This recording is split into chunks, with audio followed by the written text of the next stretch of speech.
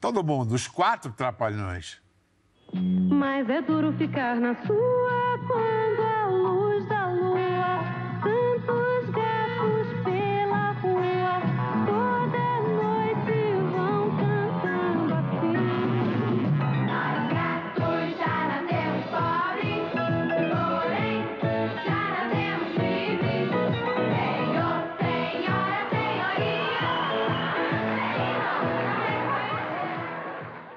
Ai, que bárbaro.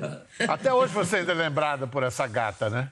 Querido, é uma coisa muito séria isso na minha vida. Eu sou a eterna gata. Eu ouço isso todos os dias da minha vida. Eu faço um espetáculo de repente e tem a brincadeira de falar. Eu faço parte de um espetáculo chamado Palavra de Mulher, ao lado de, de Tânia Alves e Virginia Rosa. Nós fizemos 10 anos esse espetáculo, viajando norte a sul desse país. E vamos fazer de novo, para você ter uma ideia de como ele é maravilhoso. E existe o momento de cada uma com o Chico. É um, é um trabalho em cima de músicas do, Chico para teatro.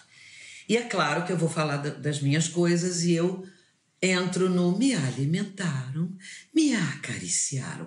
A plateia faz assim, tem um frisson.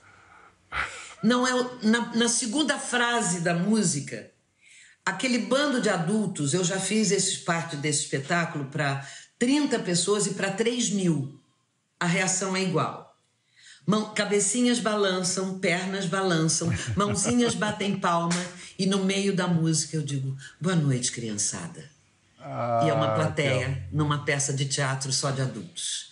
Eu choro em farmácia, estacionamento de automóvel, eh, supermercado e tal, porque é muito sério a memória afetiva.